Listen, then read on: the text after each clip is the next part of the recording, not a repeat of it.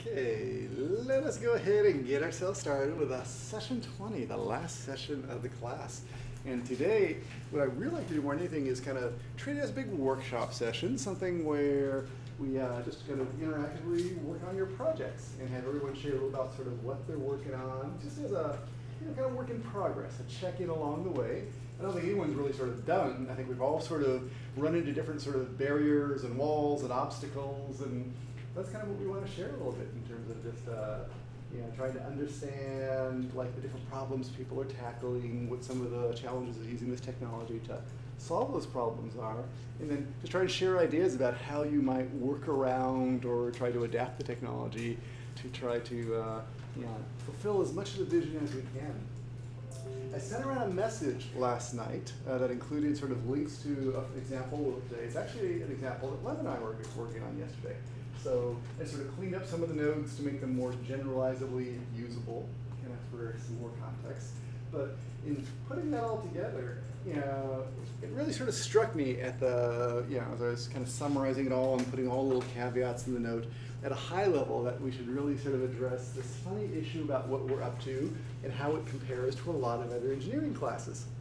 And that it's almost I feel almost a little bit guilty in that, yeah, we're going through and we're working with the technology. It's sort of experimental, it's sort of cutting edge. It mostly works, but it doesn't seem to work around the edges. You know, there's always that last 15% that doesn't quite work the way you would like it to. And it's frustrating in that, unlike a lot of things we do in engineering classes where there are known answers, and if you work diligently, you'll get to a correct answer you know, what we do here as we go through and try to design these optimization projects doesn't always necessarily lead to like good definitive answers. Sometimes we bump into limitations where the technology just doesn't work as promised. Sometimes it's that we're depending upon a server that's supposed to give some answers and it doesn't seem to be online or they've changed the interface to the server so you're not talking to it anymore the way you expect it to. Yeah, sometimes it's just that we have to kind of reconceptualize the problem, the way the tools work, and the way we would think about solving it just aren't the same. But we don't always get to these really neat and tidy conclusions. And I just want to sort of reinforce that A, that's okay, you know, that it's just kind of the nature of what we're doing since it is sort of experimental and it's a little bit cutting edge. It doesn't have like all these neat answers. We're going to get to all these kind of partial points. But B, you know, that's actually kind of a-okay too in terms of how we're going to just view what you're doing in the class and think about grading and how overall we're performing in here because it's really this is one where I don't think it's as much about the destination as much as just how you're proceeding along the journey. And if you're approaching it diligently and you're just fighting technology and te technology is just not cooperating with you, that's kind of okay. You're putting in the persistence, you're trying to solve it. I guess it's more like research than a class. It's just sort of, you're never quite sure when you're going to get done. It just sort of, you keep on going and keep on trying to find creative solutions and, and go with it. So I want to thank you for actually like being willing to go on this journey in terms of uh, trying all that stuff. I still feel a little guilty about the fact that I can't sort of give you neat, tidy answers for everything, but hopefully just you know having been exposed to sort of where it's going and what's available today, even with all the shortcomings of where it is today, sort of puts you in a good frame of mind for how to approach it yeah, as the technology matures. It'll just keep getting better and hopefully things will get easier. Of course, as it gets better, our expectations will keep rising and we'll keep on trying to do you know, more and more interesting things that challenge the technology. But I don't know. I guess that's the, the trade-off for living on the edge. And, you know, one way or another. We're, choosing to live on the edge here. Okay, so with all that as a preamble, let me just real briefly open up the example that we worked on with Lemma um, and kind of just talk about where those nodes are in terms of things that I think that you'll be able to possibly reuse. Uh, and then we're just going to turn it over to you guys to go ahead. And again, there's no formal presentation about this. What I'd really like you to do is just if you can, yeah, come on up, show your example in terms of really what sort of Revit model you're working on, what sort of parameters you're trying to flex, and just kind of walk us through just how you're approaching it and like where it's either working or not working. Okay, because I think we all learn from that. Okay, why does this look so funny? That looks scaled funny, but whatever. this is a, a very simple little building that uh, Leva put together for uh, testing some daylighting. The idea is we have some uh, different windows over there we're going to flex, and based on flexing those windows, we're going to see about both the energy and the daylighting in the room.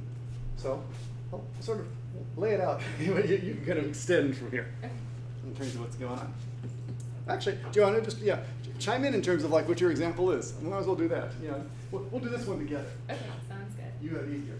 So I, the dimensions of this were actually, they were twenty by forty, which is a similar dimension to, um, a classroom. Um, cause I, I'd been working on a school before coming here and I was really interested in, um, understanding the impacts of like the windows in the classroom Mhm. and, uh, the amount of daylighting it receives and the heat loss through those windows. Mhm. So in this project, um, I wanted to test the window size, um, both in width and height against, um, the daylighting through the windows as well as heat loss through those windows. Great. Okay, so we're looking at this basic little building. We have a similar size window in like four different cases here. And in terms of flexing things, we were just flexing the size of that window. So changing one of the type parameters, both the height and the width, kind of changing two of the parameters. Just kind of measuring things there. In terms of going with it, there's all these things that you have to sort of do to make sure it'll analyze properly. It has to have a room inside of it. That's always a good thing. Um, in addition to having the room, the big things, I think a lot of you are sort of encountering these same sort of issues. If we want it to do energy or daylighting, you actually sort of need to have a room in there. Trying to find the room. It's going to show that the room actually extends all the way up to the roof. Make sure it actually goes so you have an enclosed space. Um, also, a big one that affects people, especially if you're doing energy analysis, is this one. Um, you need to go ahead and turn on volumes. Typically, where it doesn't turn on volumes. If you're trying to go through and do an energy analysis, it's important you do turn that on. If you don't have volumes turned on, Green Building Studio complains and it doesn't upload things. Now, in terms of thinking about just getting started with the analysis, the important thing is again, always think about whether uh, the analysis would work if you sent it manually as opposed to sending it through Dynamo. Because oftentimes if you try to send it manually, you'll sort of find little bugs in the model that are just preventing the analysis from occurring. So it's sometimes easier to see them when you do it manually than it is when you're trying to do the automation because the automation, like, Angad, when you wouldn't uh, do your energy analysis, what was it telling you? It, it gave you something to say it couldn't upload the file? Yeah, yeah. So Okay. there were two reasons. I, I, I'll let you uh, Yeah. describe them, but it was saying it was on the lines of saying that uh, it cannot. Uh, one is it cannot upload the file, and two is it doesn't recognize the name. Okay. That was because of the backslash. Okay, so when it tells you you can't upload the file, you're wondering, hmm, okay, well, let me see, does the file exist? Is the name that's being passed properly? All these different things. You go down that path, but it turns out what was happening was just when you uploaded the file to Green Building Studio, um, it wasn't able to make sense of the file because it didn't have the volumes turned on. So if you're an energy analysis person, I highly recommend just trying and do it manually. Come on over here and say, let's go and export some GBXML. Make sure that looks good. Make sure these settings are good because these are the settings that are going to be used, both in terms of whatever the location is, whatever the building type is. Just making sure these are appropriate for how you want to do the energy. Okay, change anything you want in there. In fact, even in these settings, I should go ahead and turn on include thermal properties. Um, because if I want to go through and include the thermal properties of the windows and the thermal properties of the Revit model, I need to include that. If it's a school, maybe I'll change it over to school type. Yeah, you might recognize these are very much like the energy settings because they are the energy settings. So it's just all these standard types. It's um, what we're doing by exporting the GBXML is really just doing manually what when you say do energy analysis happens automatically. It exports this file. Let's go ahead and just uh, say next. We can go out and put that somewhere. Again, when I put it out, it's just on my desktop. Now let me go to my desktop. And then I put inside there a GBXML folder. Okay, so I can send it out there. Once you have it out there, it's very helpful to go ahead and try and upload it to uh, Green Building Studio. So there is my taskbar. So go to gbs.autodesk.com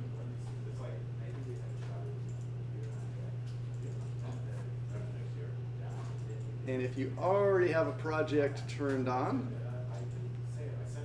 go ahead and open it. We can say, let's go ahead and upload an XML file. Go out and grab it. Okay, and just see what happens. Yeah. Right here is where you'll sort of spot if it's not going to upload properly, it'll give you some sort of error message right there that says that it's just not able to make sense of the file. If it is, going ahead and marching through and doing something super. Yeah, that's what you is going to happen. Pretty. It's going to happen. Um, you see, it actually turns it around pretty quickly in terms of the initial analysis. If you're only doing a single analysis, you know, there's the EUI. It's, it really is that quick. Um, if you tell it to run all the different variations, then it takes longer to do that. Jacqueline was asking about this. See if I can expand that out. You notice that over here, this thing that says potential energy savings just spins and spins and spins and spins. That's the part where it goes through and it's analyzing 60 different variations on what the energy settings might be or your thermal properties and your window wall ratios and things like that. That's the part if you've used Insight 360 in Revit. Yeah, that's the part that's generating all the alternatives that lets it figure out what the sensitivity is, all those variables. For our most part, we're not doing that. You know, we're just kind of evaluating it for a single case. Okay, so that's the GBS side of things. Just make sure that works, and if that is working, then come back over and let's take a look at the Revit node that does that. This is the one that we were looking at last time.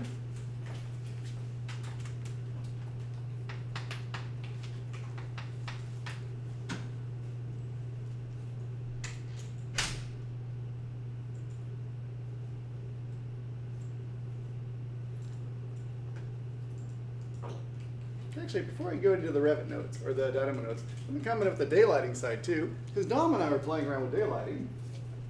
And in terms of playing around with daylighting, the important things again are to make sure that you have a room in there.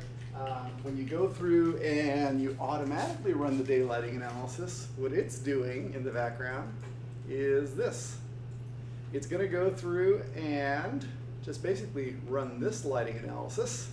So you might try running that just to see if it works. Okay, if it does or you know, if it doesn't work, then it's not going to work in the automated sense. Yes. Uh, when I was running daylighting, it gave me that I have 100 credits to run daylighting, and then it, would, was continuously deducting my credits. Okay. Um, if you have a student account, one that was created through students.autodesk.com, you have unlimited credits. Yeah, I did because I created my account last quarter with B and it was a student account. Okay. But this quarter, It says now, so that's odd. It's that we'd have to look at your account and kind of really check it out. You might try creating another one. You should have unlimited credits. It'll tell you that it's going to take a certain number of credits, but ultimately it comes back and tells you that you're unlimited. So, you know, it's just somehow in the analysis. Let me go through back over here. Continue. You should ultimately see unlimited. If you're not, there's something funny going around in, on in your account. Okay, so over here, it's saying blah, blah, blah. Best results required, zero. That's kind of interesting.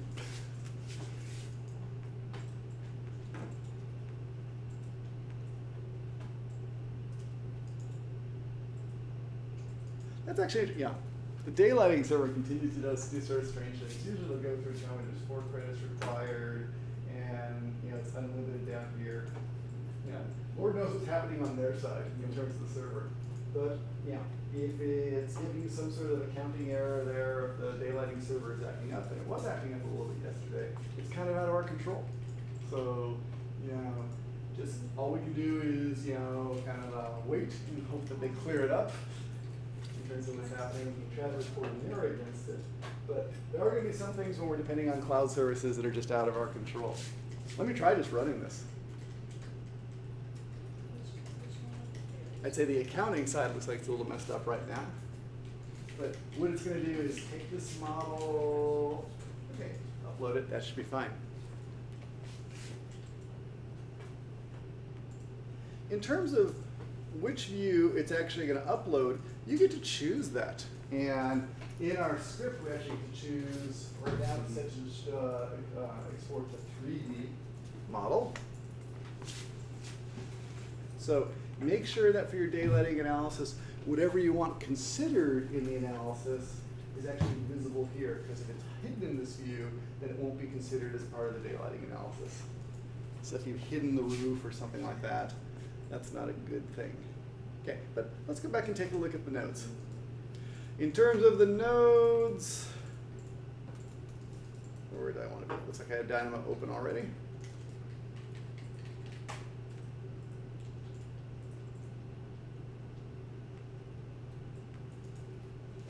So let me go with an open. Uh, where did it go? I have this out there right now just as an example. At a high level, I'm just going to walk through the overall structure. Because in some ways, most Dynamo kind of uh, graphs that do this type of optimization are fairly similar. It starts at a high level. You're almost always going to have some block where you create some input values. In our case, do we do here, Lana? Uh,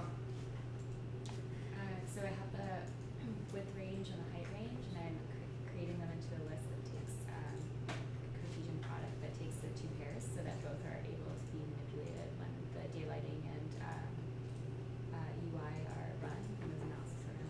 Great. Okay, so courtesy of Jacqueline, who found this fantastic node, we have Cartesian product. It'll take these different ranges of heights and widths and put them together in all the different combinations.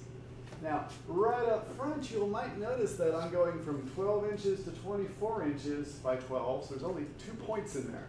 And over here for the window height range, just to test it, I'm going to 12 to 60, 48 at a time, okay? So again, there's only like uh, two points in there.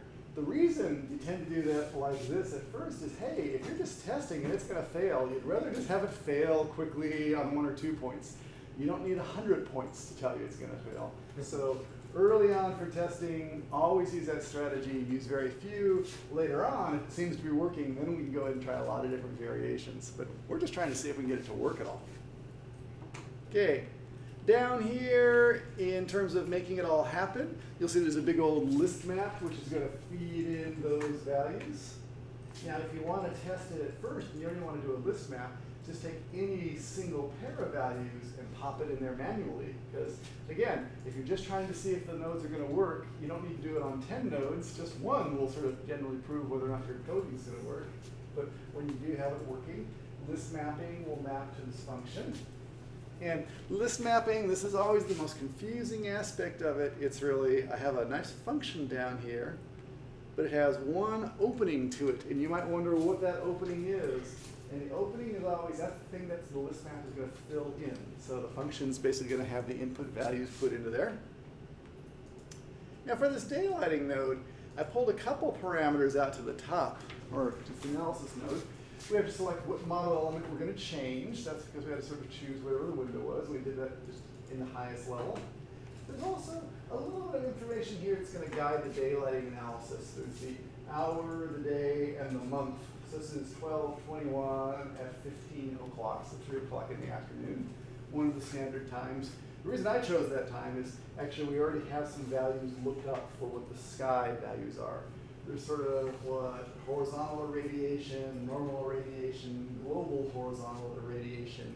But there's some values that describe the sky, okay? And if you want to look them up for your um, location and for a specific time, if you'd rather test at noontime or something like that, if you go to this URL, there's some instructions about how you can pull that information out of Green Building Studio. Okay, but these are numbers that really just affect the brightness in the sky. Now, these numbers are important to you if you want to sort of absolutely understand the lumens, because you're trying to compare for like LEED daylighting or something like that, whether you're within range. If you're just trying to say, how am I doing relatively, okay, those numbers aren't so important because, you know, it's, um, you'll, you'll sort of get the same relative answer, rel you know, as opposed to getting sort of an absolute answer. But if you want to be precise, go ahead and kind of change those to be ones that are appropriate for your situation. Okay, in terms of the evaluation node, every pair basically comes on in here.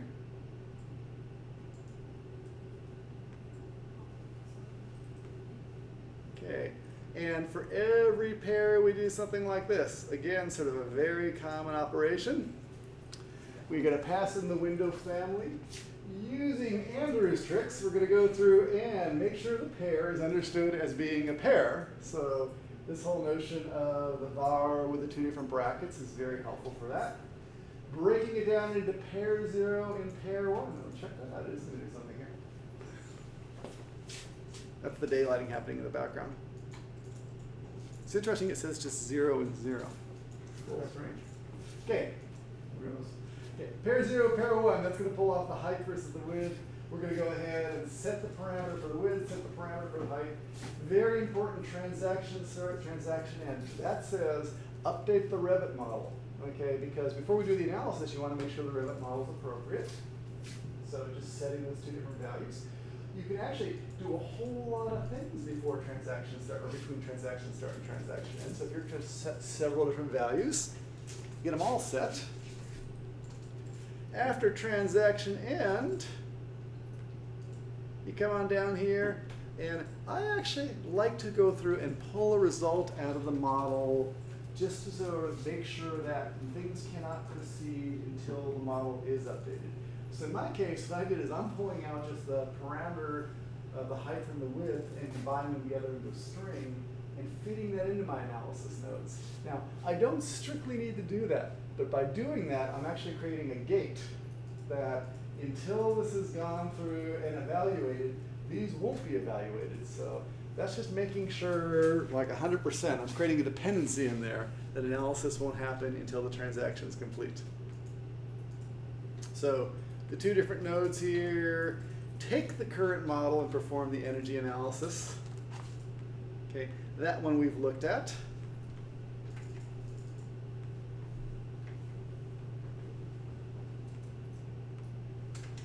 We're playing around a little bit in here. This is the one where oh, we're basically uh, concatenating a string for the file name. We're creating an export GB XML sort of model. We're running the analysis. Here's where I'm still playing with this one. This is what I want to caution you about this one. This will work. This is actually, it does a pretty good job. I say from this point to the left, it's actually very reliable, and as long as you have names in there properly, you'll get a bunch of GBXML runs.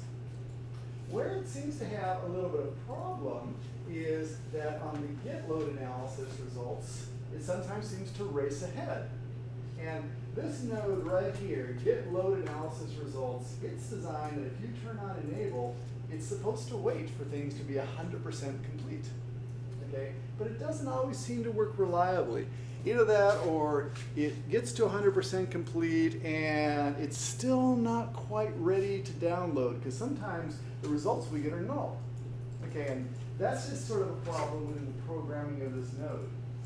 Okay, let's talk about a couple different things here. In terms of this node, if you really like to, yeah, if you're really into this and you want to sort of see how it all is programmed, we go to get analysis results. And what was the other part? It was uh, load analysis results.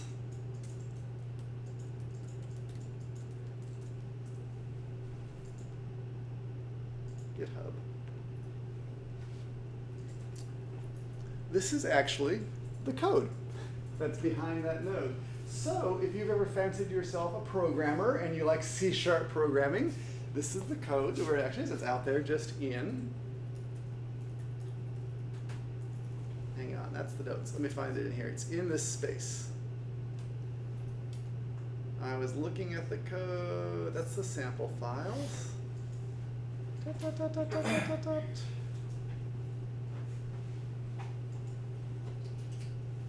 That's energy analysis. Let's see the load analysis results.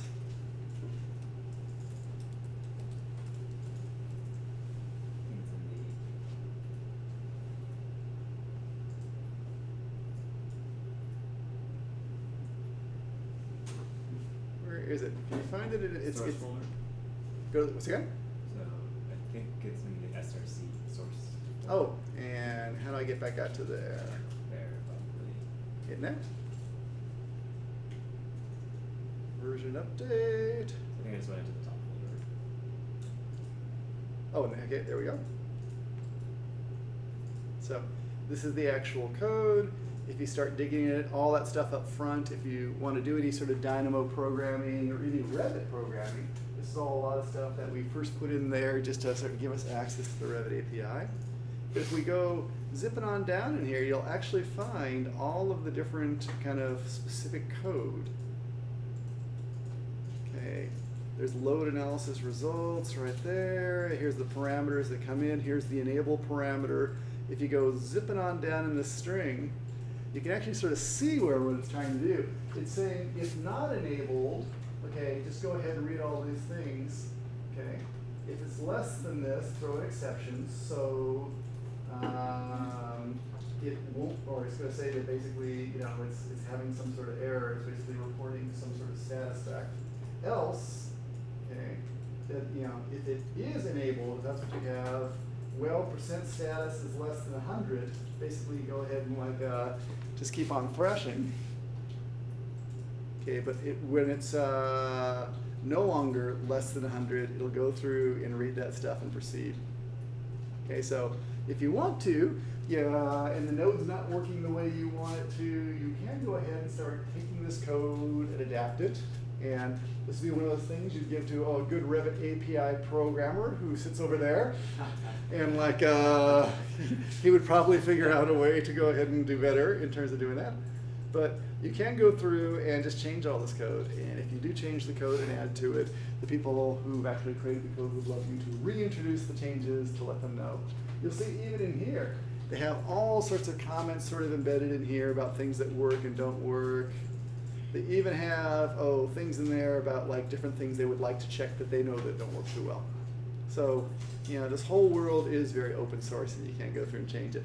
But at this point, I would say that node's not working as reliably as they'd like it to, and I think they know it doesn't work as reliably as they want it to. They're just waiting for an answer. Okay. In terms of though combating that, there's always workarounds. What I decided to try was, well, okay, if it's not quite ready, what happens if instead of getting the results right now, I just return the run ID and I go out and get the results later? Okay, give it a little time. Okay, so in my node, I actually sort of uh, implement it that way. Basically, we're going to go through, we're going to get the run results, that's okay. But um, instead of going to go, I go through pulling the energy use intensity, that's the part that it should be reporting, which is sometimes null. I'm going to pull a run ID down and just basically get the energy results just using the run ID. Now, this node down here is actually just like the other node, or at least it's like the tail end of the other node. Trying to figure out why my mouse is sticking. Don't want a pen. Escape, escape, escape. What are you doing? Huh. Oh, the pen right there. I don't want to do that.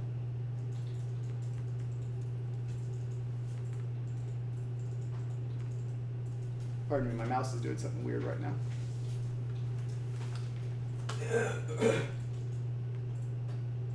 Okay, down in here, if I edit this one, you'll see that node is just basically taking a run ID, getting the results. And that actually seems to work pretty well if you just go ahead and do it later. But, you know, I don't know. We'll keep trying until we sort of figure out a better way to do that.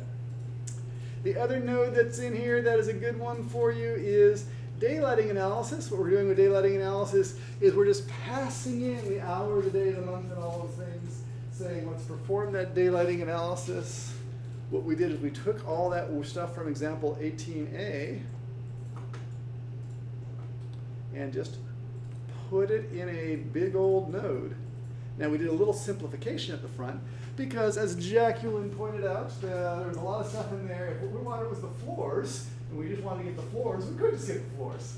So we tried changing it so it just gets the floors and pulls the geometry of that. That seems to be working okay. I'm not 100% certain you know, about that simplification, but again, it seems to be working okay. This computes the bounding box, that does okay. A lot of watches in here with all these things. It ultimately exports a cloud render file. This is again using the code that we inherited. You see that's where it says it wants to do the 3D view. If you want to switch it to doing a different view, that. It exports the cloud render data and uploads the cloud render data. If you actually run it, you'll see there's actually URLs as well as a file path there. And then finally it does a cloud render.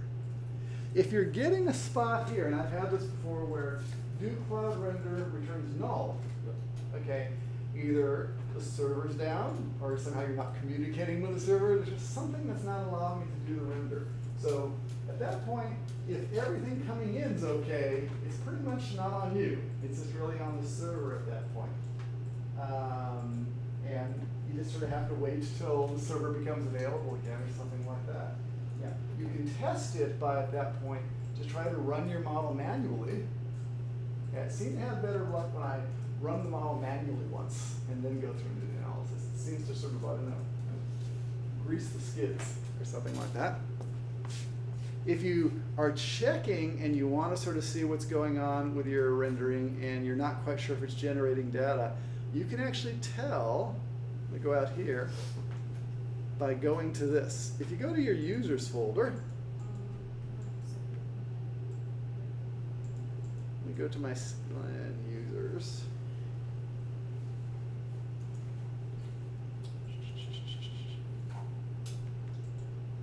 See.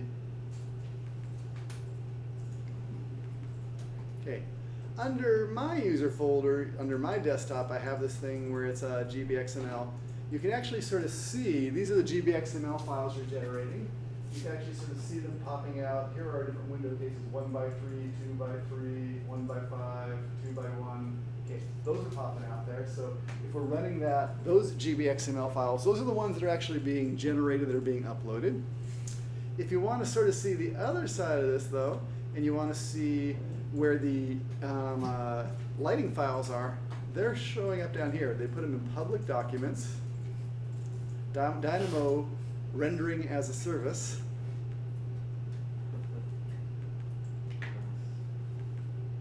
Okay, and these are the actual daylighting files. So these are the daylighting files that are being returned from the server. So if you're seeing files, kind of I tend to watch them here just in terms of the date. Yeah. You're sort of wondering whether the things are working, you can go back and see if files are being added to that folder, because that's what's happening when it's doing the cloud render, is pulling it up, putting it back there. Okay. Then finally you get to the daylighting results. That seems to be working very reliably. My only comment about this was, and Dom, I think we got to work on this, is this whole issue of when it gets the results back, okay, we just have to sort of see how it's organized, because it's probably going to be a, if you have multiple floors, it's probably lists within lists, where like for every floor, there's another list of luminance values. Although, I think the way it is right now, it's floor and then grid, so it's floor, then rows by columns. Okay, so it's helpful to kind of look at that and figure out really how you want to collapse that or flatten that in order to do any computations. If you want to do floor by floor, if you want to do an overall value for the building, whatever it is. Okay, so I think that'll, that'll affect you too. Okay, have you played with that yet? Have you gotten that far? No, okay. So, yeah, when you get there, okay, pay, watch out for this. Because the average, here I just did a list flatten, and I'm just doing some sort of overall average. I think this is going to give me average for floor. Okay, but yeah, I think we really need to look at the values and see. Super. So that's it for the nodes. I just wanted to sort of let you know about the energy node and how it works and what I think some of the get gotchas are on that and the daylighting and some of the gotchas in that. And I hate to leave you with several gotchas, but it's kind of just the state of it right now. So it'll only keep getting better. And it'll break some more stuff in the nether release, but it's kind of the edge we're living on. Okay, so any questions about all that? Look at it. Let me then just turn it over to you guys in terms of however we want to do this. Um, Lemma, you've explained about sort of your example going in, like, uh, you know, where do we go? Like, here's sort of the, this is some of the basic scripting that I sort of built out of your example. But as you think about your example, what else can you share about it in terms of what's working, what isn't working, or, you know, how to go ahead and approach it? Or, you know, if you were sharing with everyone about sort of your experience, like, uh, what would you say? Uh, like in terms of actually building up what I built up, or in terms of where I want to go from here. Yeah, well, where's going next? Yeah. Or what, what's working now? How about that? What, what is working? Um, well, it seems like before I was getting a bunch of um, null values Mhm. in the list map, I believe, like after it completed the um, EUI and daylighting analysis. Okay. Um, and so now it seems that if there isn't, if that time lag um, does work, like if there is no time lag, then hopefully it will generate some values for that. Okay. And I think from here, I, um, I want to try and play with Optimo and hopefully try and select um, the optimum uh, window width and height based on like the daylighting and um, UI values received. Okay, so let's think about that for just a second. Uh, let me just run this in the background. I'll try to show people what it's doing right now.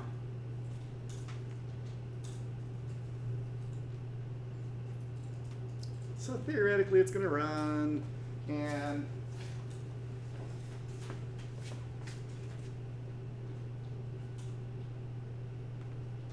okay, so there's the one by one windows.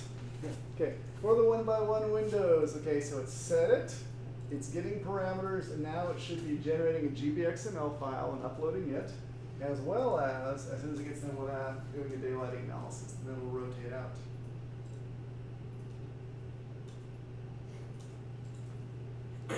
All those actually transaction weights in there.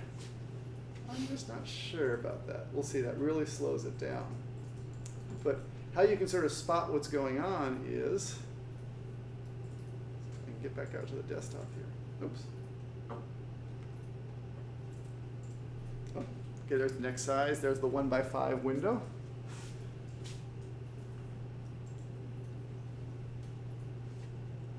Next, it's going to go for like a two by one window and then a two by five window. So it's definitely rotating through that. We see that successfully.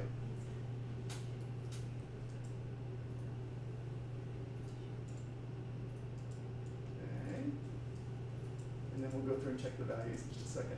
But let's think about what the values are, because and how we're actually going to go through and trade these things off. Because what this is giving us is it's giving us a whole lot of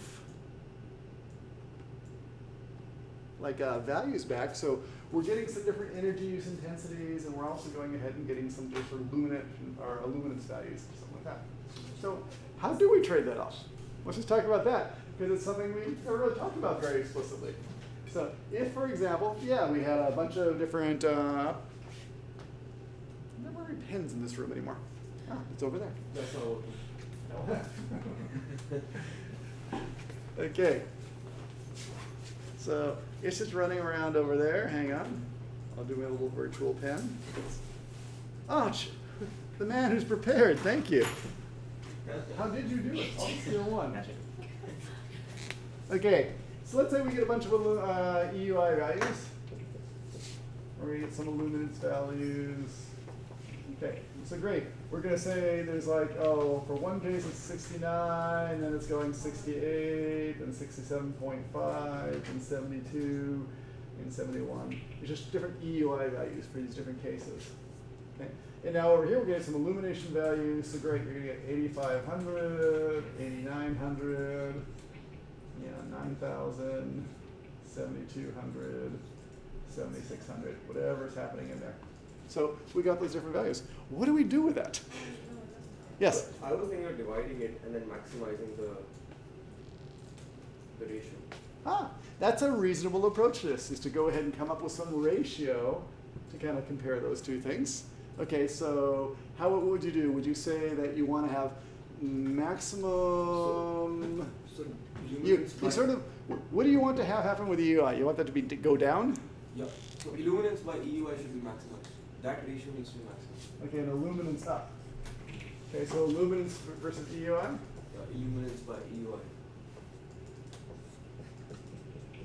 Okay, you want to maximize that. Okay, that's super. So we could plot those, we could put them in Excel and sort of look at those and try and figure out what the you know best ratio of those different things is. If you're working in Optimo, let me tell you about how it works.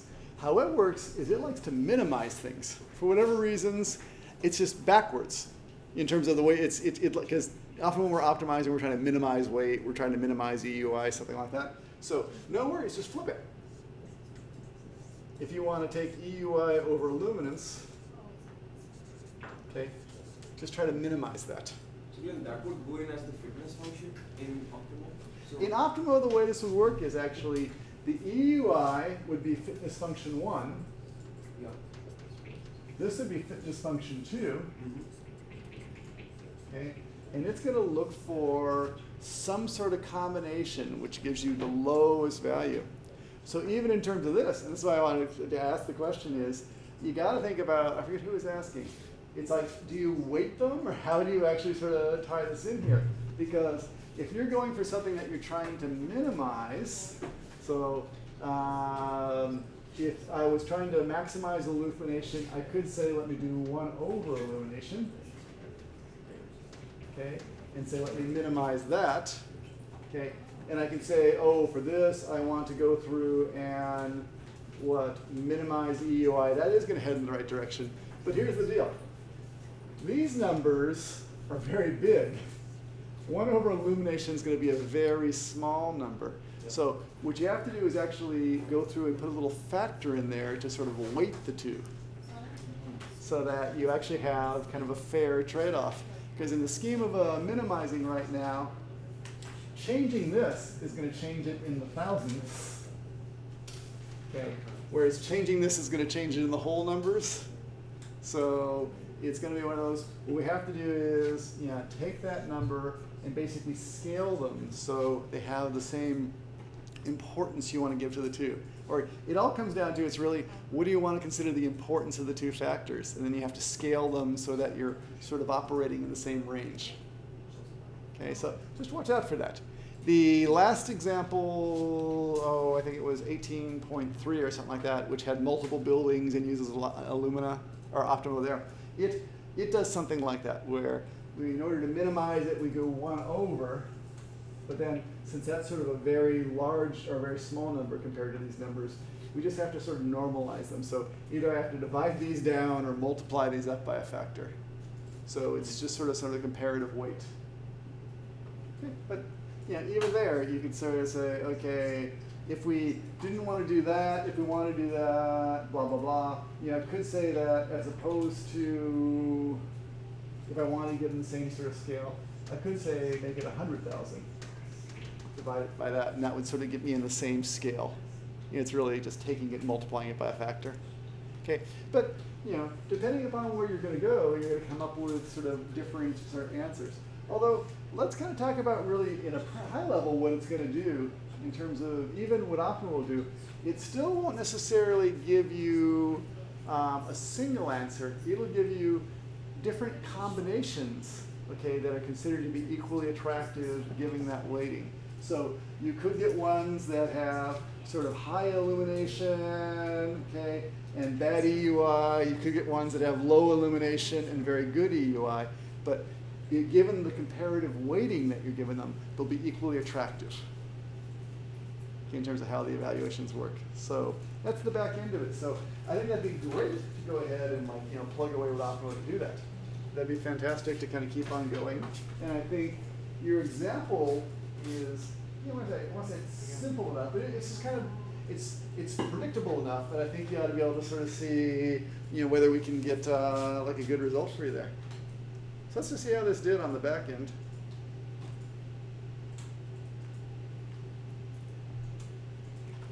On my list map. Okay, so it looks like at this point, check this out, it's, it's so weird. Okay, so for my EUIs, I'm getting the first time through, I got it, I got it the second time when I read it later. First time, second time I didn't get it, first time, second time I got it. So it's a little bit weird. Those are, one and three are basically the EUI numbers. The time I try to read it the first time, the time I try to read it the second time. Here I've got it at three. So given this, I might leave it in both places and just choose whichever one. You know, because you can do that. Actually, uh, Judgment, did we find the is null function? There's a really cool function called is null, which will help you eliminate null values. So I could say, take this one and that one, eliminate the is nulls, okay, and get the maximum of it or something like that, which would actually sort of give me the value after sort of checking it twice. Looks like my daylighting, it just isn't really doing much over here. I'm getting all these null values back from my daylighting, so something in that is kind of not working. Again, let's go over and sort of see if we can figure out why, and it could just be that the server is having troubles. I'll look at my daylighting analysis.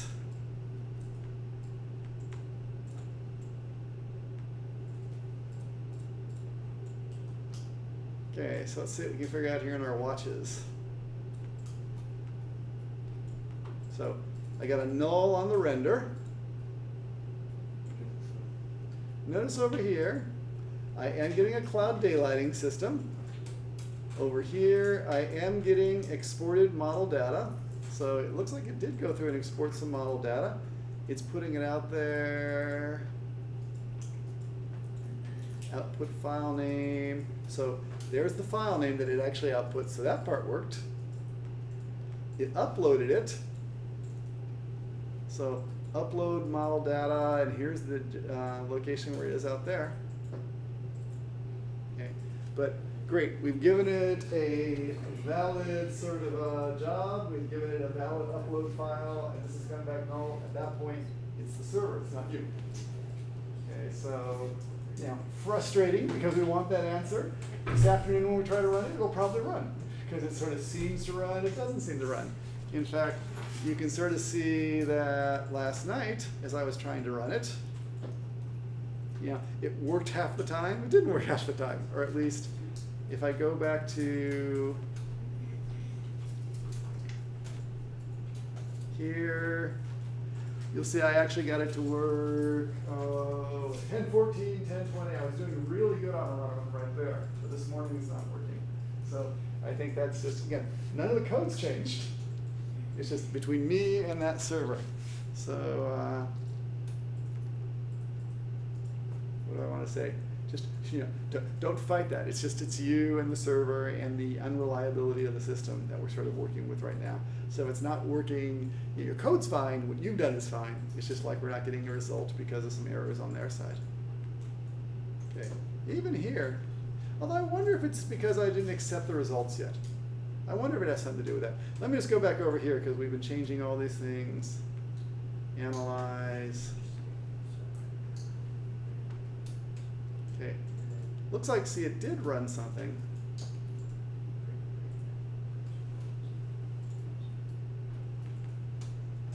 Yeah, there is the plan. I'm wondering if because it basically had one queued up because I ran it manually and I didn't accept the results, it basically was holding off and not running the jobs.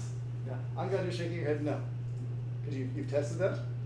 Okay, so as in you run one and you've cleared it and it still doesn't work? Okay, could be. Don't know. Just to give you a sense again of how these values work, just so you know what you're looking at, in terms of the results, let's come over here. We'll say that it's display analysis. Is it in here? It's our result style. I'll go ahead and put the dots in there.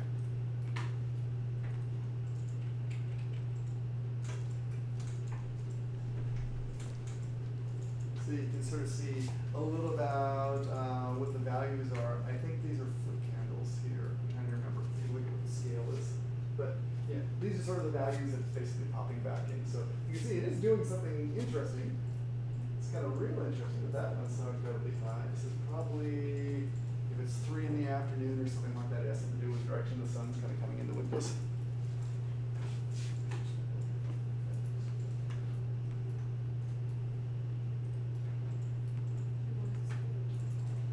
Okay, but again, I won't belabor that because there's just debugging to be done. Okay, so this whole part about how you evaluate them and trade them off, whether you do that first by just saying, hey, let's get all the results, put them in Excel table and compute that analysis, you know, with the ratio, that's a perfectly valid way to do it. You know, where Optimo really excels, like this sort of analysis, this is pretty good, at least in terms of we can do it manually and for a short list that'll work. Where Optimo is so good is um, if you have a, a, large space and you want to dynamically kind of cast new things that you want to change or try based on these results, it automates that step. So it doesn't do much more than we're doing here by doing a weighted average and combining them. But what it does is, based on the initial results, it's trying new variations that sort of are seen to be the best to try and figure out where that plateau is. Okay, so that's where Optimo is. So if you get it to work in Optimo, amen, that's really good to do it that way. Yeah. For our example, we don't need Optimo necessarily, but it's a good infrastructure and I'd rather like, you know, make it work on a simple example before we go. Okay, super. Who else has something they would like to share? I, have consumed far too much time on my end in terms of like to share in this example with you and explaining all the caveats. But like, uh, Andrew, do you have anything you can share? It's not anywhere farther along. It's just mucking around with various ways to approach it. No worries. And we're still. Uh, we can look at that, or well, like Dom, you want to show, show your building in terms of? Okay, great. Can you put it on a thumb drive? I have it already. Come on up and show what's going on there, because I think even though we haven't been able to get the daylighting analysis to work very accurately yet, I think that the idea of the, the project's really cool. So, come on up and, oh, let us pop you in on this side. Okay.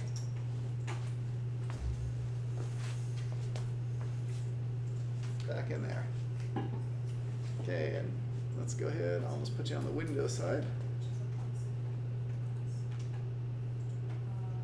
Okay, where did you go? There you are. And go ahead and navigate to where you want. And again, just sort of show us the model and what you're trying to do. The fact that it's not all working yet's okay, which is, uh, I think it's interesting to sort of look at the, you know, what you're after. So, I've been working on this like dynamic facade, um, and trying to like optimize the size of the openings to get like enough lighting and, and daylighting in space. Um, I don't know what else do you Okay. guys want Well, the thing about it, so you, you went through and you, you, you have a facade shape that you can change, you Mhm. uh, push and pull the shape. Okay, then after that, how do you determine the size of the openings? How are you testing the size of the openings? So that's based like we made a custom node to to I guess like we enter like a series pairs of the max opening and the minimum opening and how it works in Dynamo is that it, um, it will go through and try like each possible option um, and like I'll get results. So we have like I think like fifteen options or something. Sure. Yeah. Why don't you open the Dynamo now Okay. and we'll show.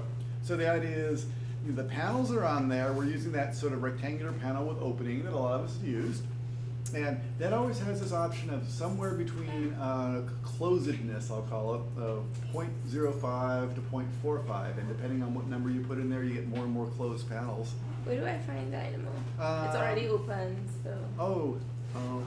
somewhere. okay.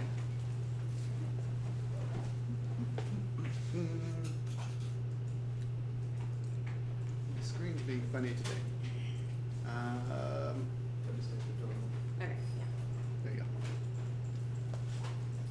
Oh, the screen turned off. We can fix that. You should know how to fix this by now.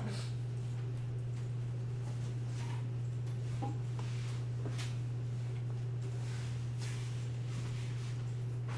are you doing? Let's see. Hang on. My brain's turning off.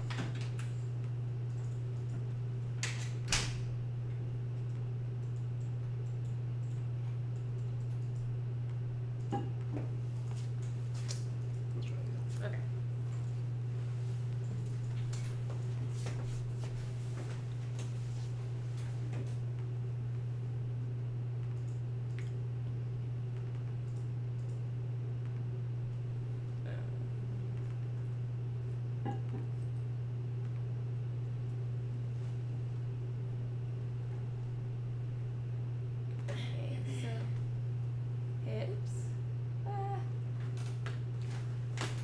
You gotta turn that back on first. Switch.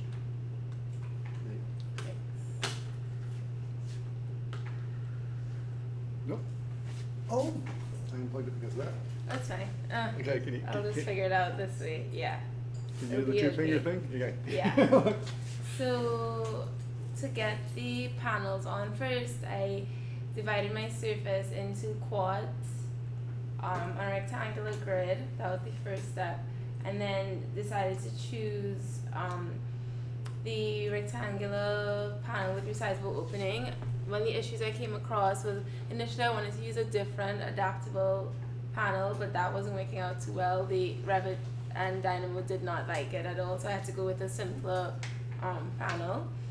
And so, then so let's stop on that for just a second. It's uh, watch out. You know, again, try it in Revit first to sort of see. In this case, we were talking about the adaptive panel. It just didn't mold itself very well. I think you encountered that too. Yeah, to the to the Revit model. So it just wasn't creating all the panels. So we went back to a simpler panel, just because, uh, yeah, some some things Revit just doesn't like to sort of create the shape, or the panels don't like to adapt to the shape. yeah, and then I did the um, evaluating the panel directness to the sun. So that's what that group shows. And then, so, Click that little, uh, it looks like, uh, yeah, that thing, I- it's a pan, yeah. Drag. there we go. Right. So creating the different um, like options to of these size the openings. This is what this does here, and um, we use the list Cartesian product as well to help combine like the two um, options. So here's like the minimum and maximum that we'd use and the increments that it'll change to and then I had to do like like the first one had to be less than the second pair so I had to we had to um, create another a custom node to do that function So, so just watch out when you have pairs that aren't truly independent. In our case, we don't, min always had to be less than max.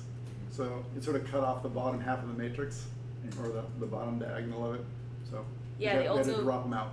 couldn't be equal so that yeah and then well right now it's not connected to do all of them because this is when i got into the i didn't want it to do keep doing all the iterations because i was trying to figure out the daylighting part which really wasn't working and we kind of like figured out uh, that that was because my rooms are really weird so i'll go back to private So yeah, like I go to my floor plans. You'd see like oh, where's the room? Well, we change it back, I guess. This is the old one. Yeah, but we wanted the rooms to be like the outline of the curved surface, and that really wasn't working out.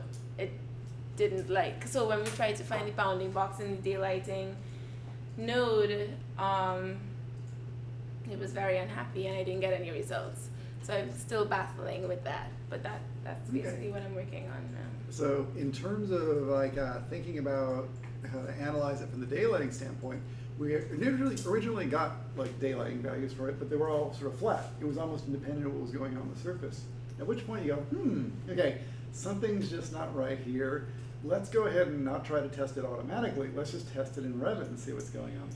So the first thing we sort of ran into is, oh, okay, it just doesn't seem to be considering this screen, this adaptive panel screen as a shading surface. So something's just not reading properly about what's going on in there. What So, if i can open the other one right? i can try opening the other Sure, one where go we should be in here though That says a twelve oh eight. This is like the backup, but I. Oh, you know what it is? It's 'cause on you- the It's on the desktop. desktop. Yeah. I'm ah, yeah. not, don't worry about it. So then what we did to try and like get the room the right shape was create a wall from the surface that I initially created and then turn that into air as a material so that we could get the room to have that curve of the the, the surface. Still didn't like that though. yeah. But let's talk about how you know, if you're doing daylighting and you have sort of non-standard surfaces, how you have to approach it. It's a little strange. Um, go on if you can the Analyze tab, and always check this. Sort of see if you can get it to work manually in Revit to kind of give you a reasonable result. Okay. And under Lighting, go ahead and pull on down. Say New. Okay, and say Continue. The default analysis that gets done for daylighting uh, includes some things. It has some dates and times. That's all fine. It also sort of has some assumptions built in about whether you should consider different objects. And by default, the daylighting analysis doesn't consider whether it consider what, what it thinks of as non-permanent objects. So it doesn't consider trees and planting. It doesn't consider furniture. It doesn't consider anything essentially that isn't a wall, a floor, a ceiling, or a roof okay, or a window, something like that. So it considers those things. So in order to get it to consider this adaptive screen, which we think of as a wall, but Revit doesn't necessarily think it was a wall, we want it to consider those forms. What you have to do is under that little gear icon, right up at the top, it looks like, well, yep, right there, choose that. Um, there's this part that says, where is it? Turn off visibility of uh, non-permanent model categories you'll find that by default that is turned on. So what it does is it just hides all the non-permanent things so they're not being considered. So if you want to consider them, you just have to turn off that checkbox. Okay, then it'll consider your stuff. Okay, super. And that's kind of it in terms of in messing with the daylighting, just see if that can work. Again, what I would do, what Don and I have to do is keep on just trying to get the manual daylighting analysis to give us some reasonable results. We actually got some at some point. Yeah, I got I got some yesterday as well, but it was all dark. So Mm. I guess, but that was the openings were really tiny at that point. So I, because we only used like zero point zero five and zero point two five or something. Okay, So it was so- really small. So it wasn't really getting. So, so we had, we had, we were feeding it, again to simplify it, feed it one set of properties. Okay, we fed it a very narrow set of properties that were all on the dark side, so we got very dark results. So maybe the next thing is we should check it with, uh, where we have a wider range, because all we're really trying to see is can we get some variation between the, what we consider the hot spots and the, the, the low spots. And as soon as, you know, our daylighting analysis is giving us that, then I'd say, great, we're ready to go back to automating to uh, see if we can like, uh, you know, check a variety of them. But always, you know, I guess the general principle is to, you know, just really test to see if you can get good, accurate results that you expect, you know, for a single case. Because all automating does is really allows you to detect a bunch of cases. Okay, so you know, try that first. Yeah, I mean, I think I can get the results doing it manually. The problem with the automating is that the node doesn't recognize the volume. I think that was the issue you're having, like the bounding box. We weren't getting any results Oh, for that. Actually, I kept on seeing stuff like that, and it turned out that wasn't the issue. Oh. Yeah, because even when I was running with Llamas last night, or excuse me, I had such trouble with that. Okay, yeah, when I was running with your model last night, uh, I still got those weird, kind of funny errors, but when I put more watches in, it turns out it was getting the points. We, we were getting the, in, Claire, you like this, the infamous green box in the watch node. Yeah, that's, that's we what were I getting that. I could see your face lights up with excitement over that. no, but it, it was actually turning it. I, I just really think that for everyone who's playing with daylighting, just there's something going on there with the server that's just a little bit messed up right now. So, you know, I, I wouldn't put too much stock in it. This node, if, if you can get it to run manually, okay, that node should automate it. You don't really need to change much inside the node. It just sort of says, take your 3D model and run daylighting and give me the results.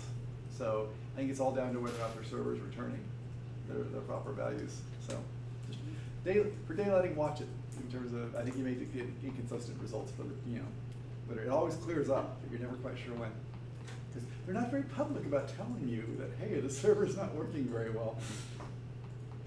Yeah, I don't know. It seems to make a difference, yeah, half hour to half hour, whether or not it works. Okay, yeah, thank you for sharing. Okay. Does anyone else have some interesting geometry they can share or a problem? Oh, Angad's shaking his head no.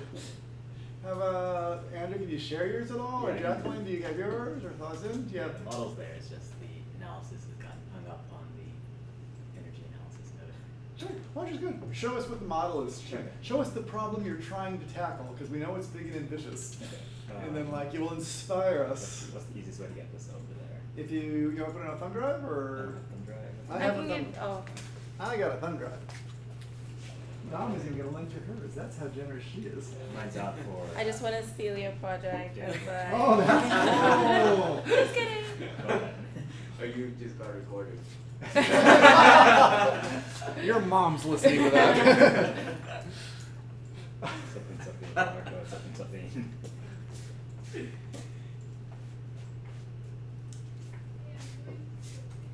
Okay. Mm, trying to get this. Actually, I got to turn off on my daylighting analysis. Actually, you might even notice what's happening with the daylighting analysis. Notice uh, I still have it turned on, so it's exporting the detailed values. So it's popping them all over to like Excel. You know, you see, so if you really want to see what the values are, there they are. They're kind of uh, currently being read out to Excel. What you trying to do? Trying to safely remove hot my thing, but I can't be bothered. So. I'll just go yank it. Yeah.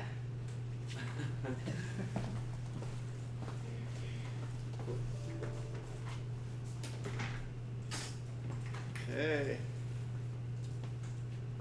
My screen's just all messed up. Yeah, Go for it. Pop Use in. keyboard? What's that? Yeah. Bring it on the window side. Have at it. Cool. Okay, the mouse is not working. Uh, oh, actually. Uh, I can do the chat. Probably, maybe. Hang on. This is, this is this is the difference between what you want and what you. Uh, Uh, oh, it's not transferred. Okay. oh, I'm sorry. No, I'm just gonna put this back in. Ah, I see. I- I think mine has five USB ports, so I should never actually encountered this problem. Okay, I think Alright. you're good now. Oh, put it put on the um, Windows side. Yeah. Okay, got it. Alright.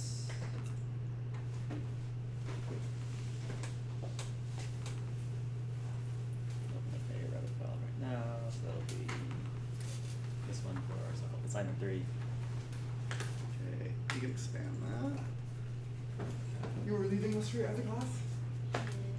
Okay. Final presentations today. Woohoo! Good luck. Fun stuff. I hate public speaking. Aww. Okay, good luck. Have fun. Good luck. Oh man, this is not doing the same controls as the other one. There we go, shift. Yeah, see. Okay, so. What this is- are these strange space-like objects? Well, we call them the space chip. Um, Oh, okay, that was a good guess. modeled after um, the house we built for Solar Decathlon 2011. So it's rough form. It's entirely a mass object. Um, so what I've been trying to do, there's a couple parameters that you can change in here. Uh, first is just set in a floor area. I made this with 900 feet. Um, there's a width that tells you how wide the middle is, um, an angle for the tilt of the walls if you look at them top down. Um, you have some slopes that are, or some walls that are slanted, so that's 20 degrees from vertical that we have as this parameter. Uh, So if we go around changing um, stuff like that, you can just update that and it'll This is nice. I want you to design parametric objects for me because this, this is one of the harder parts is actually just getting a good object to flex nicely with all the parameters. Yeah, so this one ended up being extrusion between two, the top and the floor surfaces, and that was what worked. What worked. Trying to just set extrusion based on height and then using void elements just failed miserably. So extrude and aligning, I think it was aligning the edges with planes actually helps everything snap into place. So you created a top surface, So I created a top surface, um, created a bottom surface, and then used the extrusion function. and was the bottom surface like the slant? So the bottom to surface bottom? included the base and then the slanted part up here. top was the. And I think the plane, it was either a plane or just a line. Um, it might have- think these are all reference point based ones. Um, that has a set elevation based on another parameter. It's, it's Um, tricky about how to think about do that. I, I would have tried it, and again, not that it would necessarily have worked. I would have thought about doing like three vertical kind of profiles and kind of sweeping them together or something like that. Yeah, but again, so- it's lots of different ways you could approach it. Yeah, so editable family, um, basically just a ton of reference planes, and I think if I click, it shows the locking. Yeah, so uh, I guess this isn't doing a great job showing what locks to what, but uh, for example, this base here, that blue highlighted line now, um, Mhm. locks to a level um, based on what I call the cantilever height, and the cantilever height is one of our calculated parameters, so it's just a long list of numbers. So, so you have a very flexible object here. Mhm. That's very impressive. All right, cool. Okay, so uh, close out of here. That was version three, by the way. Version one and two were just uh, not editable. Let's say. Okay, so the idea was to take one of these guys and just run energy analysis on it, get the results. Um, try to change the parameter one more time, maybe just by a list map, maybe um, using a genetic algorithm. Um, either way, it's not really quick enough and half the time I'll get a timeout when I'm trying to run it. So at that point, I was like, okay, we're not going to do this. It's not reliable. So I decided to try to make six of them, or maybe a bigger array in the future, and just edit each of these using a list map, just some range of values, and then run um, the energy analysis node on all n of them. Uh, unfortunately, it treats them all as one building, so it gives me a total EUI for the entire array of chips, and that's not exactly the most useful. Um, so what I figured out that you can do is just use the um, analysis packages for heating and cooling, or um, uh, heating and cooling plus daylighting, and you can get some idea of how much energy you'll be using um, based on the lighting needs of the building and how much energy you use to heat and cool. Um, specifically, the energy plus model will let each building tell or give you a energy usage if you split them all up into their own space. So I haven't figured out how to do that part from Dynamo. So right now it's mostly create a bunch of forms in Dynamo and then manually go and enter spaces and then run the analysis manually once and get a result from there. Okay, cool. Let's just stop for a second on the, the whole EUI thing is an interesting one because the energy tool, it really does have the limitation of you can only have like one player on the stage at a time. It's like uh, it'll analyze everything on the stage together. So even though if you think in Optimo about having a population of a bunch of different pairs of values or something like that, it's still okay to evaluate them one at a time. You know, it's, it's, it's you know, in one of my examples, I show several players on the stage at the same time, and that's okay because I'm just looking at the surface area and the volume of the objects or something like that. But you know, even if you're using Optimo and it's doing generations, it'll just go through and evaluate all the members of a generation and then cast the next generation. So, you know, you still could go through and do that, but that's just something interesting to think about with the, uh, the energy tool is it'll go through, yeah, it, it, it is very specific to having through one model at a time in terms of what's going on. Um, daylighting is a little bit interesting though. If you are from the daylighting standpoint, it works on the notion of floors and spaces built off floors. So you could have several different floors and it would basically report a grid off of each of the different floors. So you wouldn't be able, I'm pretty certain you would be able to get sort of different values for several things on the stage at the same time. But again, you don't feel like you have to have them all on the stage at the same time because there's not really a computational advantage. It's more sort of like visual and it's kind of cool to see all the different variations side by side. Yeah. Cool. Um, one other limitation that we found going through this one, but it still doesn't, it's kind of a moot point now that the energy analysis node isn't really going to be used for the rest of the process here. Um, trying to edit the mass energy, the energy setting window options. So if um, you enable the energy analysis, I think it's, where's, it? Where's the view option here? Again, Normally that- there's an option to view the energy settings or something like that. Um, in sixteen, it's just you create it and then it's just, now you go up to the top. This one's delete. Oh, so it's in there. Okay, oh, it's interesting. It's a little, uh, different there. Normally I'd expect to see a view, which would just show the analytical surfaces. Just sh- show the model, right? Either way, um, the node that is in the energy analysis package won't actually work to set individual surface like glazing percentages from the default, but you can set the global one to be something instead of forty percent, which it is by default. Um, and then you can manually edit a couple surfaces to be whatever you want to be at a fixed Good. number. Go ahead, But- delete, delete the energy model and recreate it.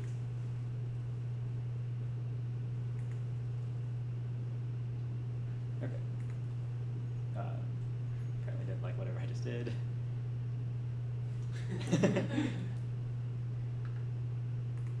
ha.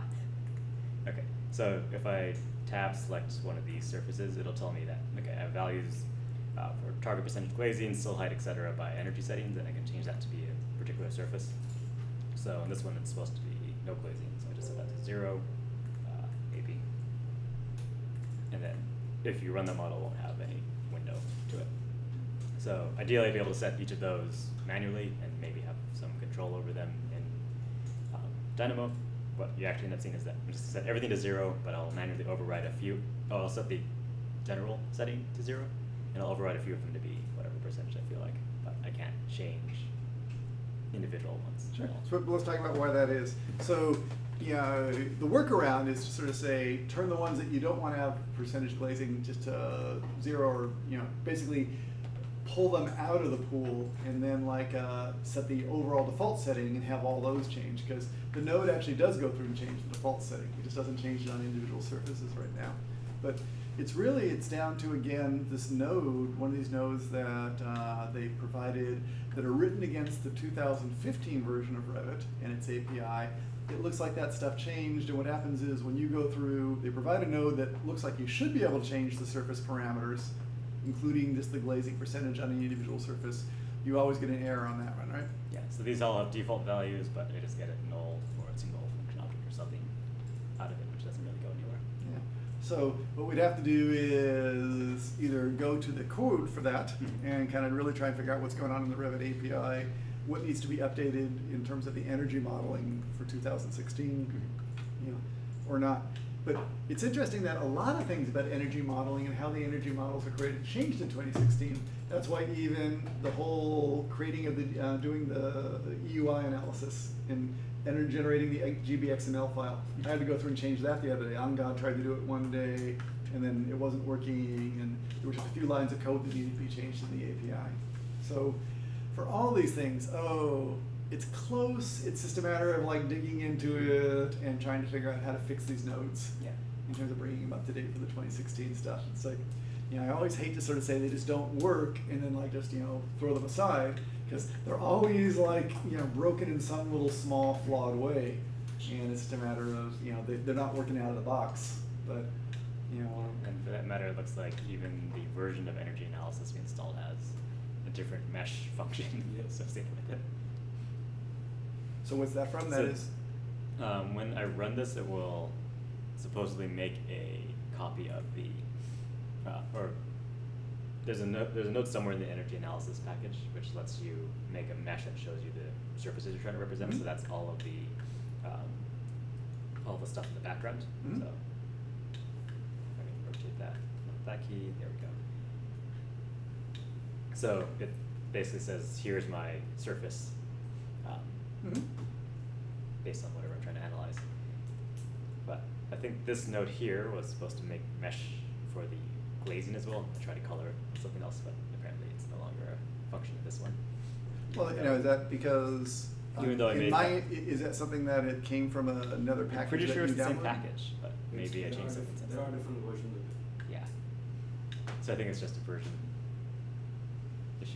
In terms of, and it came out of the energy analysis for Dynamo package, or Yeah, where did it come from? it came out of the on my installation of it. Interesting. Trying to figure out where I actually drew the meshes for the other one. Okay, and what's the node actually say, saying it's unresolved? Yeah. Well, I guess what I'll do is just copy this particular node again to do the glazing ones. Oops, alright, that one somewhere else. So instead of doing this unresolved mesh, let's see if I can nope, that was right, that was it right there. So, That's interesting. So if you type in, because it says unresolved right now, it oh, looks like course, it's not linked to anything, there we go. Glazing surfaces, go to there. Switch Okay. Apparently there are no glazing surfaces.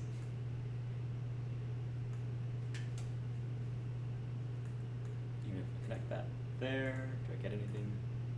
No, okay, so there's some things, but apparently it doesn't even want to draw things for me. Okay, and I think there could be all sorts of things going on right now in that your environment, I think you've Yeah. put a lot of machine nodes in there that aren't necessarily on my machine. So it's a matter of, you know, kind of carrying them with. So in general, for a lot of these things, if, you know, when things like this happen, when you try to move from machine to machine and nodes are missing, just go through and make sure that the nodes that you need are like uh, copied into the same folder, Mhm. you know, or that you've uh, kind of installed everything up front. Because yeah, we all we all start depending on all these different nodes we download to do different things, and if other people don't have them loaded, then it's uh, just a question of where they came from.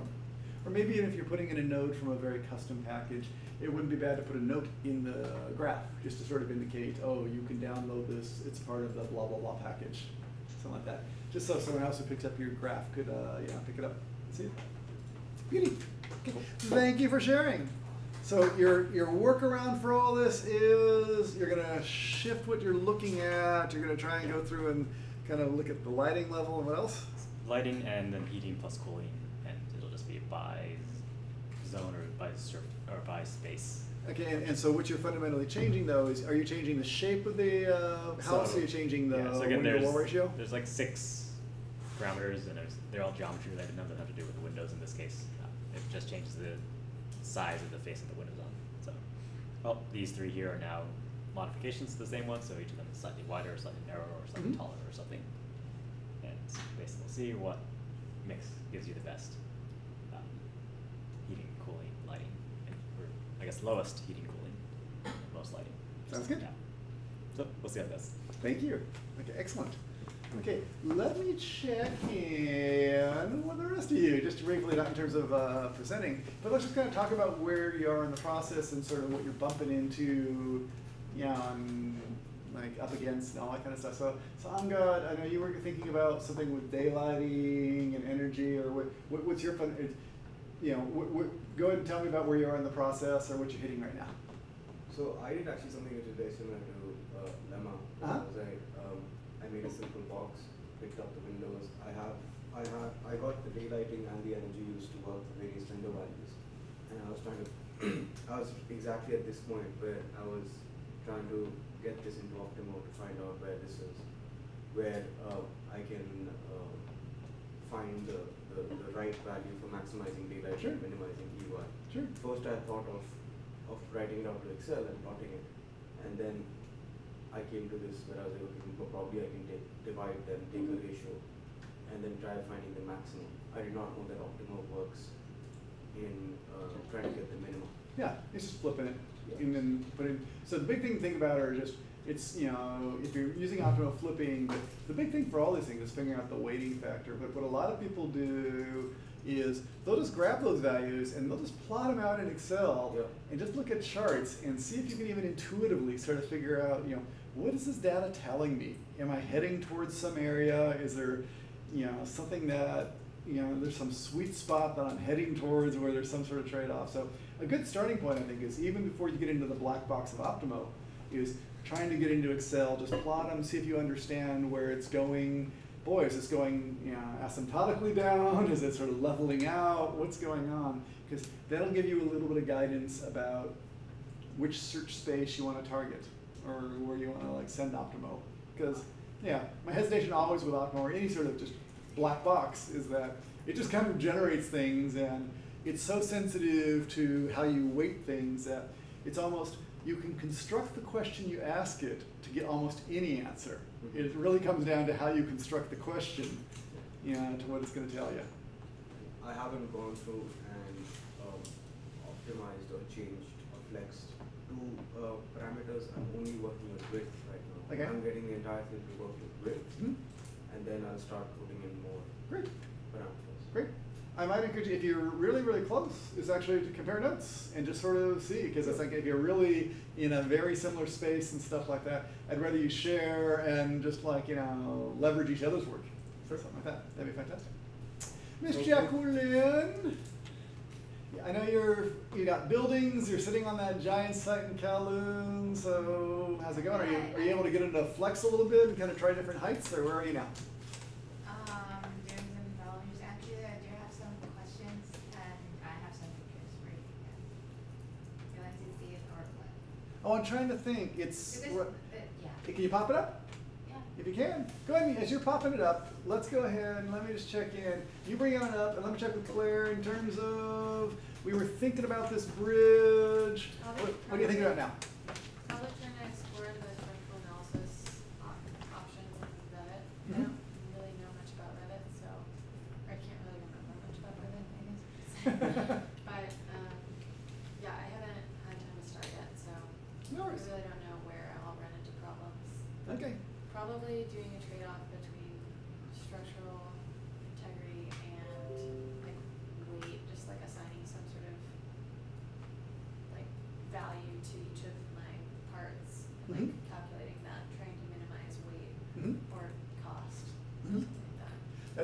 very good way to approach it. Generally, what happens is you can go through and put, you know, like lines. It, all starts with kind of generating some sort of geometry, kind of in Dynamo, kind of creating lines that are following along that geometry, and then from that, putting beams in there that could then be exported to, like, uh, there's a robot structural analysis node. It'll actually take it out and take it right to it. So if you can get the beams to be right in Revit, it'll go on over there. Um, Okay. There's, structural analysis? yeah, it's, yeah, so it's, it's, okay, and that'll take you on the structural side, and it's, it's very much like ETABS in a lot of ways. Yeah. Um, for this notion of putting beams along lines, I would highly encourage you to talk to Henry. I was gonna say the same. Because he did as part of his project last year, it's something, he he basically wrote a little custom Python node that'll just really, for any sort of line, go ahead and put a beam on it, a sloping beam, whatever it is. So in terms of this, you know, bridge form, which is all kind of fractaled and, yeah, it, it'll help you just go through and generate uh, a Revit um, structural model that matches kind of the Dynamo line model. Cool. Okay, Do so. you have his contact? Oh, yeah. Yes, exactly. Well, yeah. Or He, do you? he, Yeah, he, he's think- often sitting right here. Actually, ask Angad. I'm gonna Yeah. put you together with him. yeah. They actually- It's it's Hamamji. Yeah. Dr. Hamamji, who usually sits right here. We actually worked on a similar project to Autodesk for a year, which they did exactly this. you know, So, so I think that might, you might be able to leverage that to kind of get you through at least the placement of the notes. Yeah. Yeah, Or the- that sounds great. Okay, so let's get you guys. Miss Jacqueline, tell me about what you're up to. I'm just trying to ask you, like, um, there's a few evaluators that I want to use. Sure. So, And let's. um, some of which I kind of have it done. For instance, I have um, uh, two like um, evaluation about how its distance towards the harbor front, Mhm. and then um, its directness to some um, attractive zones across the harbor. Okay, so, so just to get everyone up to speed, you have these building forms, and then on the building forms, you've panelized the surfaces, and we're looking at just how attractive these different apartments are gonna be, Oh, apartments. or just, you know, yeah. like surfaces, so- yeah, okay? And then in terms of, and then so you're evaluating kind of how well they can view some sort of target, Mhm. okay, and then also distance across, or, uh. Okay? And then so one of my problem is um, since I can have different building forms, Mhm.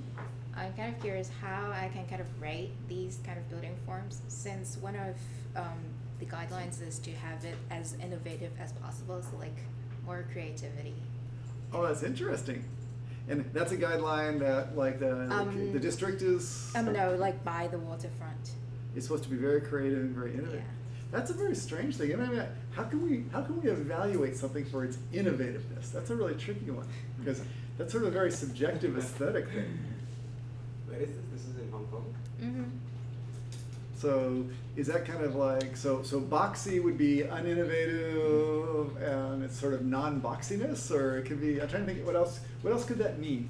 Are those pictures of the waterfront right now? Yeah, this is what it's is right now, like the promenade that is um, right by the harbor. Is there a way to input a series of shapes, like normal shapes, like Normal square, circle? It's like for now, I'm trying to see if, since what I'm doing, I have a node that creates these kind of forms. So for more regular shapes, I'll need to create another node for it. So I'm planning to, if I have time, I'll do that because like um, choose from one to two, like zero or one, like either is created um, from this kind of like wavy form or is from more regular shapes. Yeah, what if you, And then I'll, because like before I do that, I want to like kind of know how I can rate them before I go to that step. Mm, Take a curve that is like on the perimeter, make a bunch of nerves points, and see how far away they are from a regular.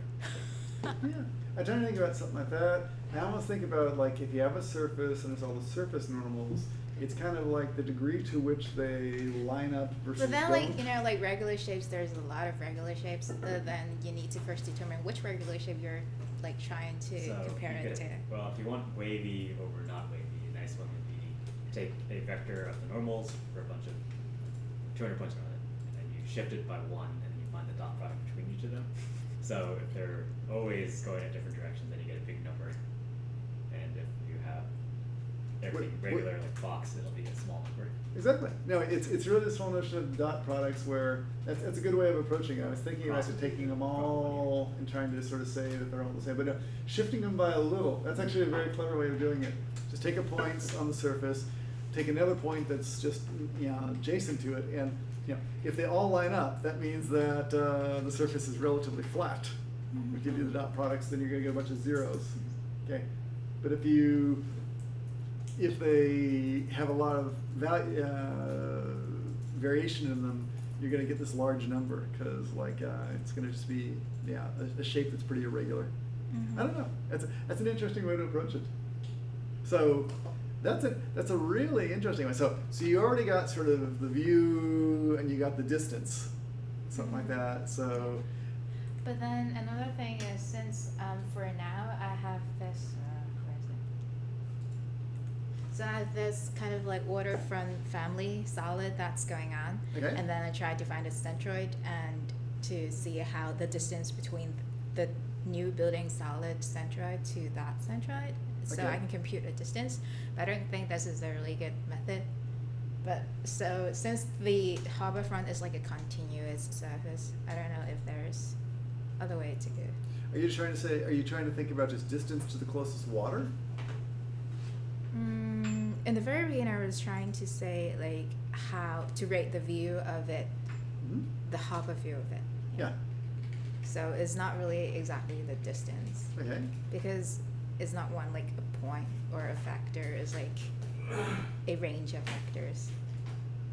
No, it's interesting. It's, it's, it's kind of an interesting thing to think about how to get to the closest water.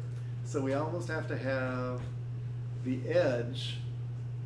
It's one of those things, I, I think what you can do is, how you might approach this is, okay, you have the edge of, you know, Kowloon, kind of the little peninsula that's jutting out there. You Mhm. could almost think about having a surface which is like a wall that goes up around that edge, okay? And then what you're really trying to do is you're trying to project it's basically rays from like the normal vectors and basically see where they intersect that wall and figure out what the distance is to that wall. Yeah.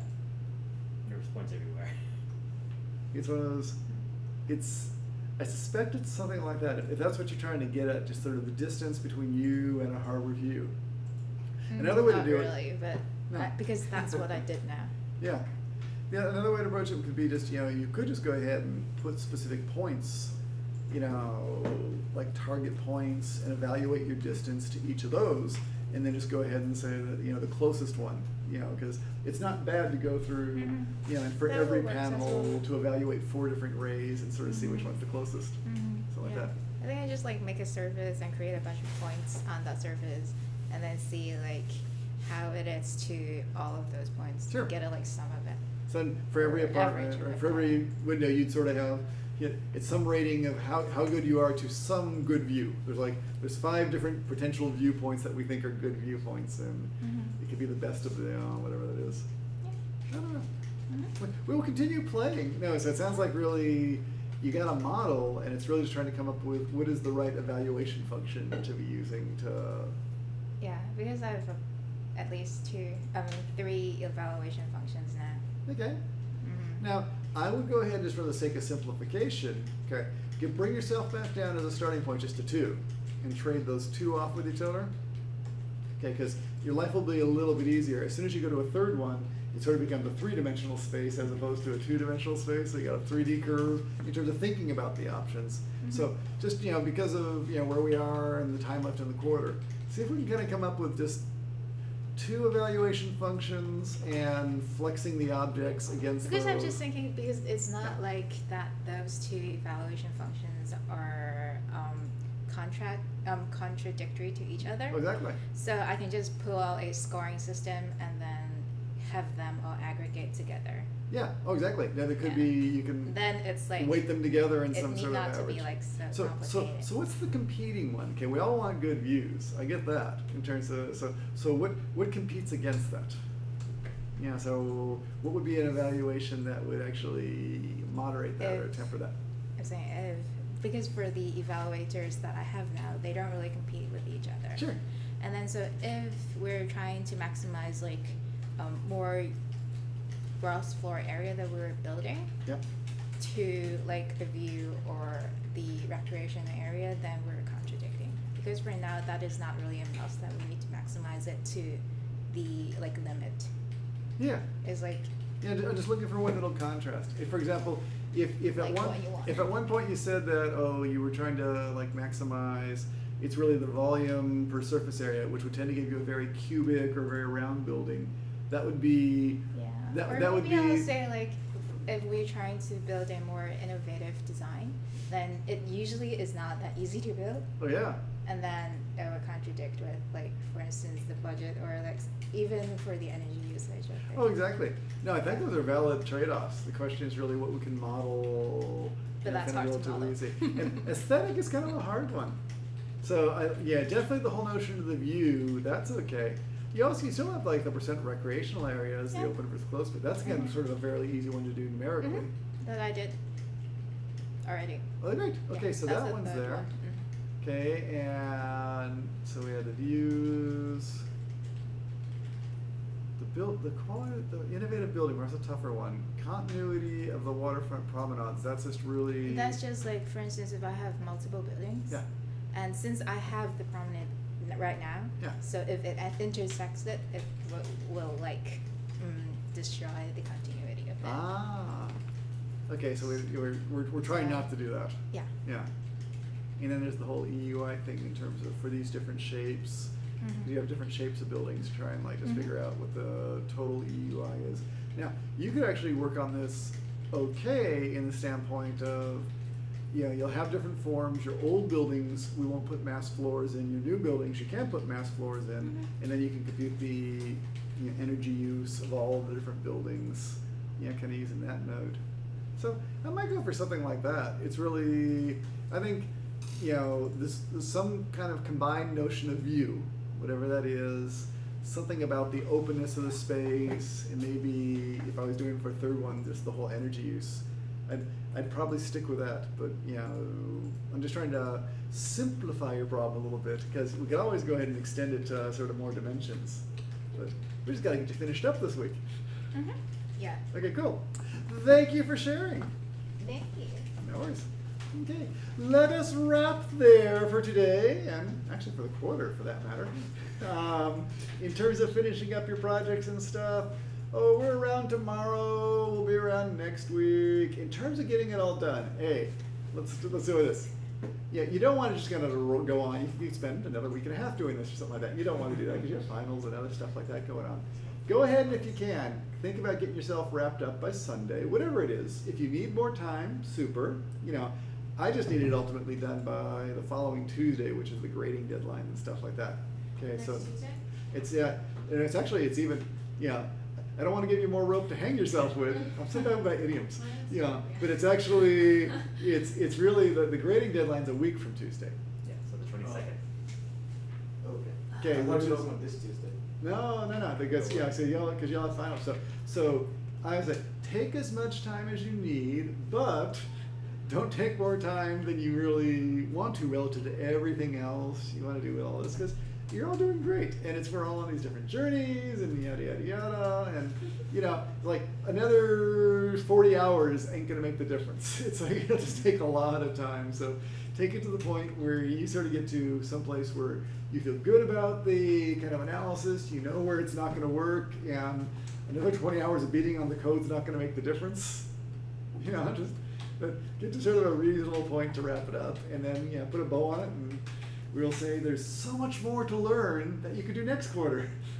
Or something like that, because it's really sort of an end, uh, yeah, it's, Oh. it's boundless, yes. What time will you be around tomorrow? Tomorrow, pretty much noontime onward. Okay. Oh. Okay, so I'll be popping in and out to some stuff going up with Global AEC, but you should have me most any time. If you're here and you're waiting on me and I don't happen to be here, ping me. Go ahead and send me a message. Or a good way to do it, if I'm upstairs, is, and the room's busy, just send a text message to this number. Hang on.